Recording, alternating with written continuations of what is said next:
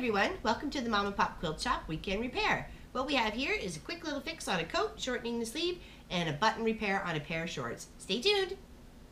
Hi everyone. We have a fix on a coat here. We're just going to shorten the sleeve a little bit. It has, it's actually a two-parter, um, but the sleeve is too long for the customer, so I'm just going to take it up a bit. And uh, we discovered maybe about a half an inch would do it, so I'm going to do it all the way around because not only is it too long in here, it's also too long in the cup. So that should help hopefully alleviate the situation. But when you come to weekend repairs, you need to make sure you're matching your thread to your customer's product or your product as best you can.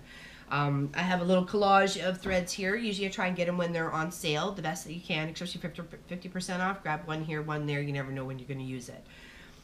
So I had a few here and I wasn't really quite sure. I think uh, we can clearly eliminate the, the purple and the orangey here, but these two reds were really close. And the best thing to do that I have discovered, and even tips from my uh, local ladies at my Fabricland, said um, take a little bit of the thread out, like you have here, and match it, it up to the original thread that is in the product or in your clothing and try best to match that thread.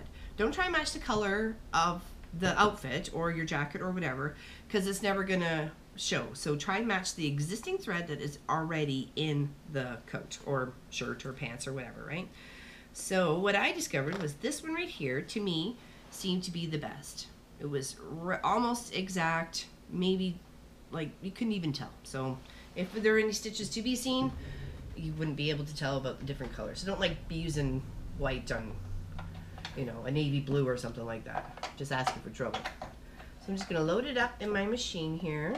Just give me one moment. I've already loaded the bobbin.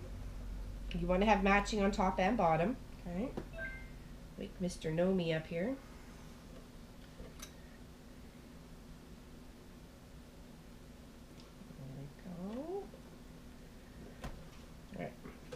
Now you can either pin this the whole way or, you know, if you're pretty good at eyeballing a half an inch, go for it.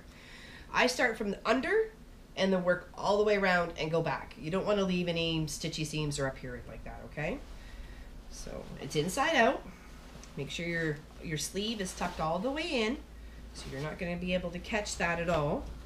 If you do, then you know you have that handy little tool called the seam ripper. It's your friend, it's your enemy, it's both. All right. Now, wait, oh, there we go. Now where was I? No, actually, I'd like to work from the other side. Okay. Put the bulk, here, put these threads away.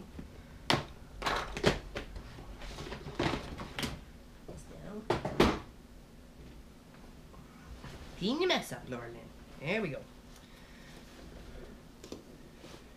Make sure you have it positioned under there, best you can. If you go super slow, if that's what makes you confident that you're getting the stitches all around and you're not looping anything up. come right on that seam. I'm going to try and crease my stitches just a bit to kind of match the size that they have in here. To me, this looks like either a 3, 3.1, I don't know, maybe 3.2. So we'll go 3.1. Here's lay it flat. Do your little back step. And just come all the way around. Following the existing seam that's already there. You know, keep your foot right next to it or using this, this pre-existing seam as a guidance for your new seam. Okay. And just go slowly around. Like I said, make sure you're not getting any fold up on this side. I can't say that, but no fold up on this side and then stitching. You're uh, you know, then you got the seam ripper in your hand. So just take your time. Make sure it's laying flat. A few stitches. Make sure your needle is in the down position whenever you shift your material around. Okay, because that way it holds it. It's kind of like a, little lock, right? So maneuver it, push it, feel it, whatever you need to to make sure it's laying flat and you're not pinching anything.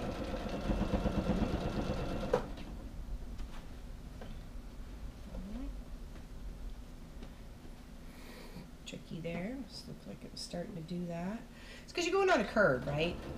It's not you're like you're sewing a straight line. So that's that's the more intensity of how you have to control the fabric. Is making sure you're constantly sliding your hand underneath, making it lie flat against the bottom of your sewing machine, or the, this part of your sewing. Okay, we're almost at the top, and that's where it starts to peak up. So make sure you're laying it flat. This one start giving me a little trouble here. I'm only gonna lift my foot just a smidge because I think it was kind of pinched under there. Okay.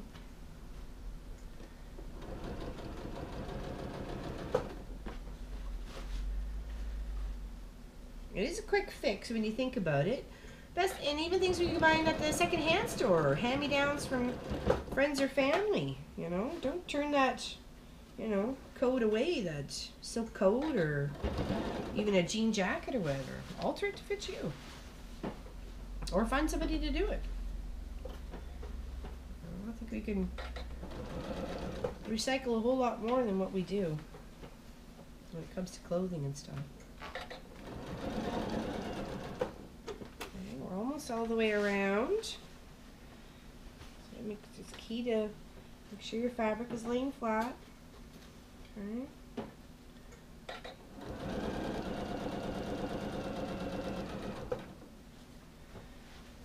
And it's better to take too little than too much. So what I'll do is I'll do this on both sides and then I'll put it off to the side and do my other alterations for this customer. And then when she comes and tries it on if I have to take it in a little more that's easier than having to you know take it all out and line up with your previous stitches. Do a little back step stitch step. Do the hokey pokey and turn yourself around. Alright trim your thread. I'll show you. See, there's the original line, and then there's my line, okay? And it's just a little bit, and it's just enough. And then you make sure you, you now you now this is your turn. Oh, good. Look nice, nice seam match up on that. That's perfect. Make sure it didn't move anywhere. Take a little look around. Looks good.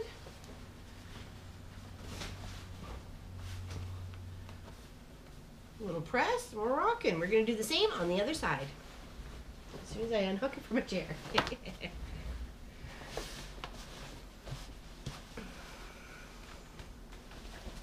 just noticed there was a pocket on the back. That was kind of cool. This is my pin from my original um, fitting with my customer. So I do it with safety pins. That way I don't poke them because they don't really like to be poked. Starting from the under pit, like your under pit seam there. Okay. Just make sure it's you know don't try and fight it. You know that's I know something when you got really slippery or silky or satiny or something like that. It wants to fight you all the time. It's like wrestling an alligator. And yet it's only fabric.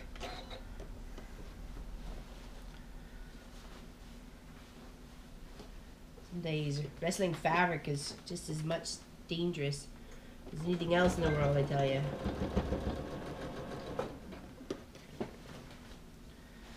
Just slow and steady, put around, flattening your fabric.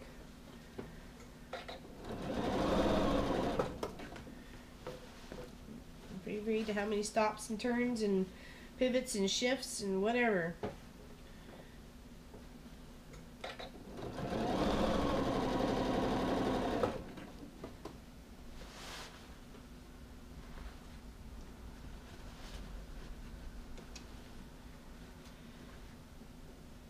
Oh, actually that started to pinch, so I'm gonna take my, um,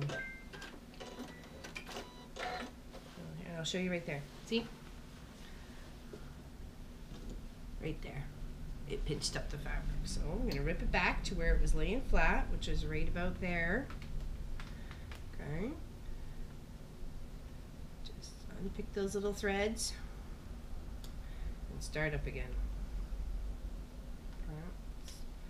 Don't panic. Just don't continue, or you end up way more work for yourself. And that's the, you know, the pretty much the difficult part of working on curves. Is making sure you're not pinching the fabric from underside. Okay, just a few more of those stitches here.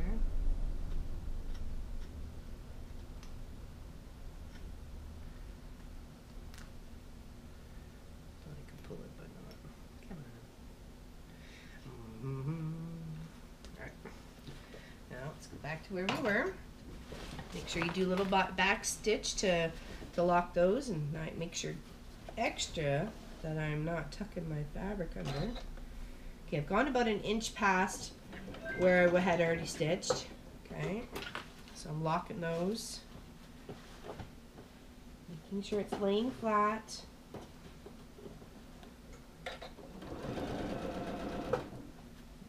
I think I went a little too far without flattening it last time, so. Alright, let's learn. Moving around.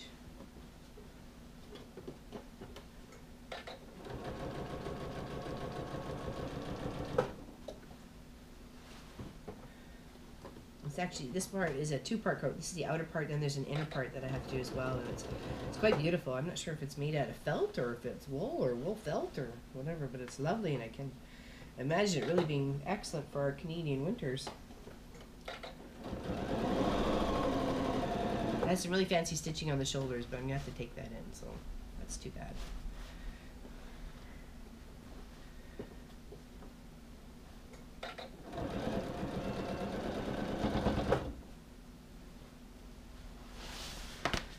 Do a little flip.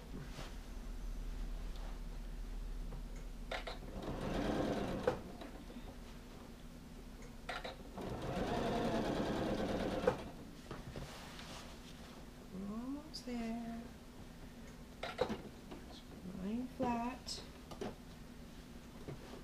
You can feel it with your fingers too, like when you're putting your fingers down on here, you can tell whether there's a, a lump of fabric on the inside, the underside, sorry.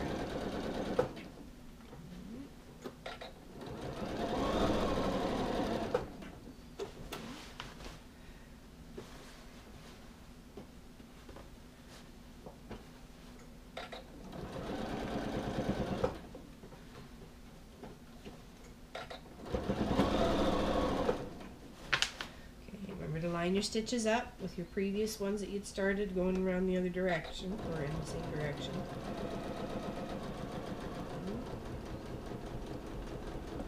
Back step.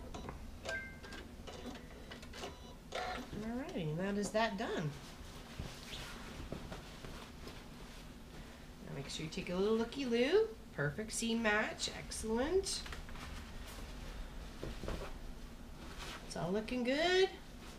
Fantastic. All right. So that one is done. I'm just gonna fold it here. That'll be for her to try on. Okay. And then this right here, it's just a pair of little uh, jeans that has lost its little clip. There's two of them. They go in together, as you can see right here, to help loop it to hold the pants on. Well, this one seemed to be missing one. And they're easy enough to purchase at your little fabric store, probably even your local little everything mart. Just line it up like the previous one. Okay, making sure you kind of keep this right there, these two heads in line with each other, so when they're together, they're both going to latch in to where they need to be and hold secure. So, got my needle and thread. I got black because that seemed that be best to do. I'm coming from the underside first. I'm going to try and stitch as much as I can just on this fabric here, not to go through because you can't really see the other one. So, and that's just the tricky part. You just do little loops. Kind of fill in the little hole really just by stitching the fabric down or the little tab to the fabric. Alright. Five or six times in each little one. There's three little tabs to do and it should be alright. Oh. And instead of going from tying it off, I slip under the fabric to the next hole and then work that one. Okay.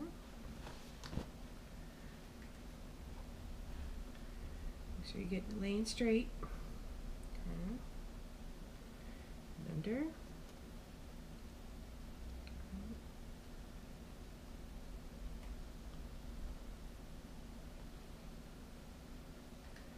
Just fill the little hole up. Not almost is our weekend repair. That's two little fixes. Alright. One more for that one. And then go on under to the next hole.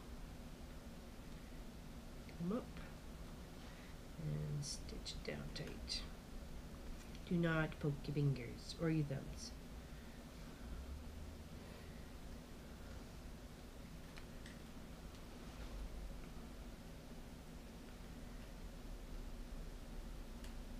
Oh, sorry.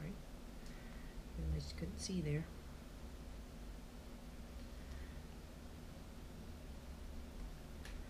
Nice and secure. I'm going to go back to the middle one, do one more, and then I'm going to tie it off. Okay. And I just loop through what you've, one of your loops. Oops, helps if you loop it through. Uh, pull tight, and then I do another one. Loop it through, pull tight, and then just slip the stitches underneath and give a little trim. Oops, see, keeping on the loose. Okay, and that, my dear peoples, is me is my oh there it is. Um, is our weekend fix for the Mom and Pop Quilt Shop. Thanks very much, and I'm so glad you joined me today. See you next week. Bye.